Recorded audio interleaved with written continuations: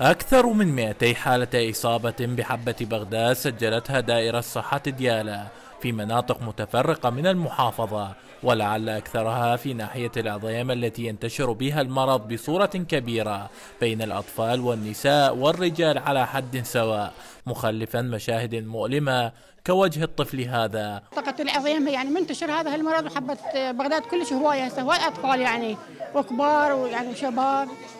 هسه والله أنا رجلي هاي صارت ثلاث أسابيع.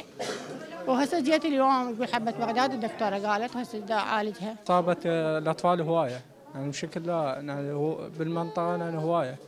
ما لها علاج بس الوحيدة الإبر أنا هاي الجلسة الرابعة وقوة ماتت وايد بالبداية يعني هيك صغيرة طلعت. أنا قلت يجوز حباية من هاي العادية هاي. شو بعدين كبرت وصار لها الجراحة ذب.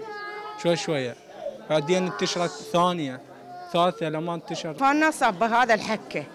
إي أنا هسه مني وحدة يعني ما حط راسي يجرب. كل يجرب وطلعت هنا يبي يعني ما خليت طبيب ما رحت عليه. ولحد الآن ما طبت دائرة صحة ديالا أكدت أن الحالات ارتفعت من 150 إلى 200 حالة في غضون يوم واحد مؤكدة أن كوادرها سارعت لعلاج هذه الأمراض في ظل غياب دور الدوائر المعنية كالبيئة والبلدية. جود 150 حالة في ناحية العظيم. آه، واليوم ارتفعت إلى 200 حالة تقريبا بس الكادر الطبي المختص بقى في ناحية العظيم وتم معالجة آه، هاي الشريحة اللي موجودة في ناحية ناحية العظيم. إحنا نحب نقول إحنا نحب عفوا نحمل مسؤولية هذا الموضوع مو بس دار الصحة دياله وإنما نحملها لا مجلس المحافظة ولا كل الدوائر الخدمية مثل البلدية والبيئة. سرعة انتشار هذا المرض في الأماكن التي تعتبر حاضنة له.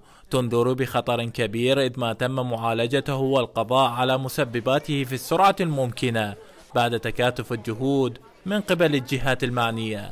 لقناة سامراء مصطفى الجوراني ديالا